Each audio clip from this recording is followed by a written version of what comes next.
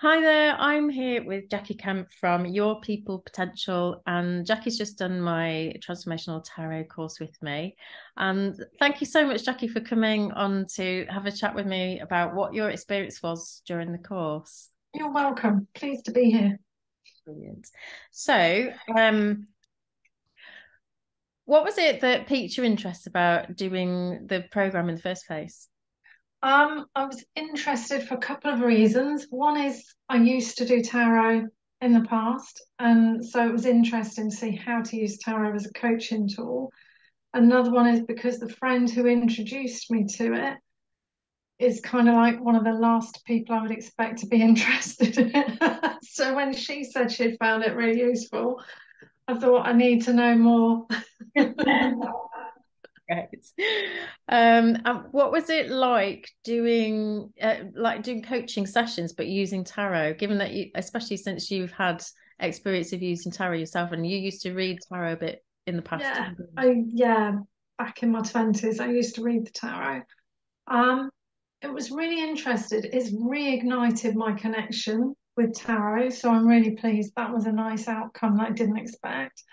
Um, and I found it really interesting as it helped me to gain greater clarity, I guess, on different things. that I'd never kind of, and because I've had coaching in the past with people who have processes and, and ways of doing it, the flexibility that tarot brings because you can't have a very fixed idea and it creates a different um, dimension, if you like. So it's not your agenda, it's what comes up with the tarot. Whereas coaches I've worked with in the past, sometimes they seem to have a process and an agenda that they need to follow. Mm-hmm. And they ask you questions and they expect to hear what they want to hear. And that doesn't always come out of my mouth. So it can it has been frustrating in the past at times when I've worked with other coaches, but this I found very different and very um, enlightening. Fabulous. Do you remember having kind of clear intentions about you know what why you wanted to do the the program in the first place what was going on in life or, or what what did you what were you hoping for um for me it was about gaining clarity because last year when we started doing it um, my mum had died, as you know, and there was a lot of family tensions going on, and it was a very raw kind of time. So to be able to have that ability to process what was going on for me and the ability to kind of ask around family stuff as well was really, really, really powerful for me and really important. So yeah, that was good. Okay, thank you. Um, what was it that you most enjoyed about the sessions? Um, I enjoyed actually one of the things I enjoyed was taking time for me to think about what do I need. That was really nice because I don't do that very often, being a business owner and constantly looking at what my clients need. And having that ability to ask for clarity and direction on things instead of just going with what I thought or I thought might be best for someone else. It was about being able to ask those and and get guidance and clarity from a completely um, neutral perspective, if you like. There's nobody with their own agenda and their own view of what I should be doing because dot dot dot whatever it meant for them. It was all about what I need to do for me, yeah. and I think that I've really found useful. I found that really interesting uh, because every client is different uh, that I work with.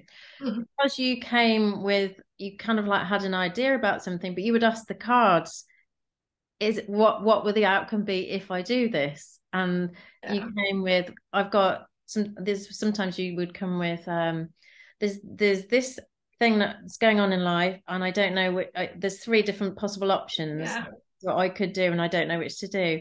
And so together, that was really interesting to mm. play with um, how to use the cards in a really sort of uh, intuitive way in terms of reading spreads and things. Um, Yeah, I, yeah, I found, yeah, well, I found that really useful because sometimes we just look at the cards and you'd send me this picture and I'll be like, oh, I'm not doing that. but it might have been the thing that I preferred to do. if I was just left to my own logical intent, it would have been, I'd much prefer to do it that way. And then you, the cards are there, nah. it was like, and it just helped to bring that clarity and the belief that whatever decision I have made, having gone through that process, I don't have that, well, what if?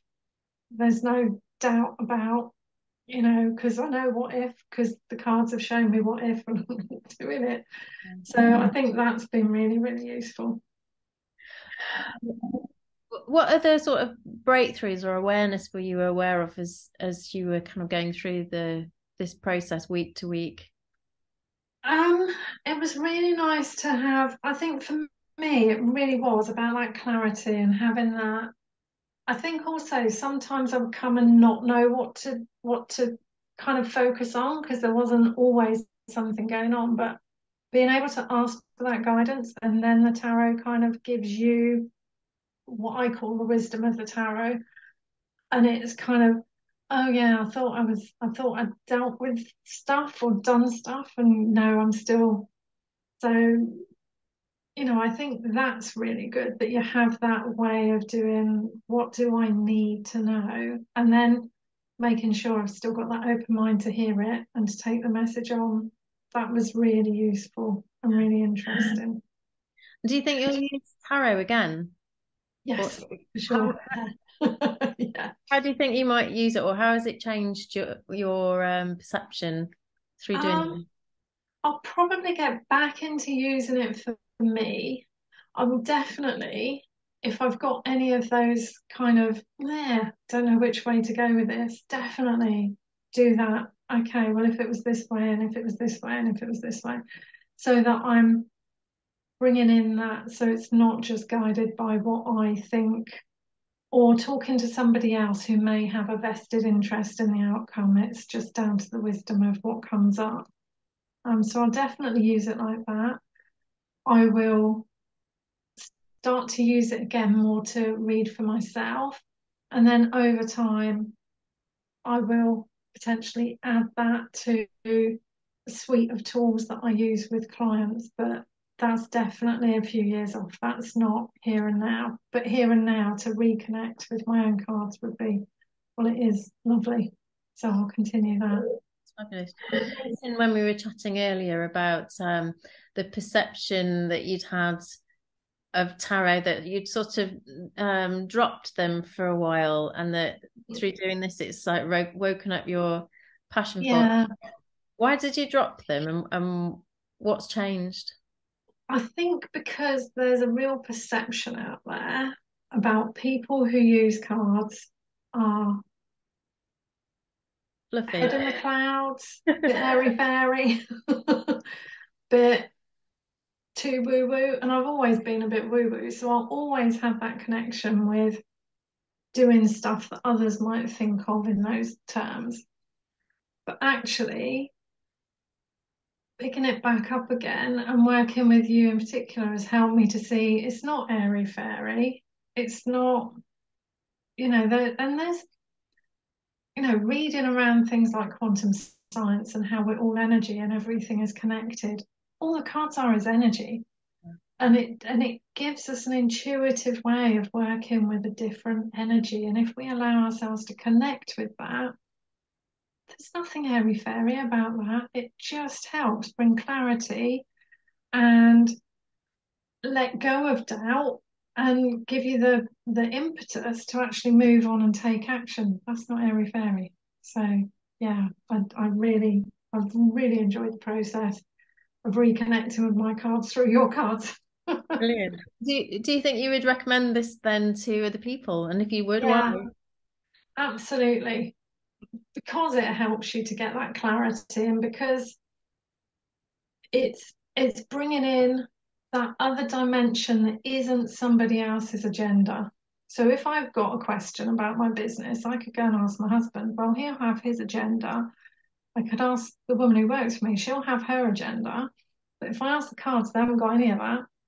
and if I ask you with cards and you're doing the cards with me, then that's really helpful because that's I can't then misinterpret that on my own agenda because if you're doing the reading, then you will tell me intuitively what you're seeing, which stops me from hiding from the things that I don't want to see as well. So even for mm-hmm. people who do use the cards, I would encourage them to use you and have you as a coach using the tarot because you will make sure that they get the full message and they don't filter it for themselves, if that makes sense because we can all see what we want to see, can't we? Ignore everything else. Yeah. Oh, thank you so much, Jacqui. It's been such a pleasure working with you. and so much fun, and I've learned so much through the process. So thank you so much. Thank you.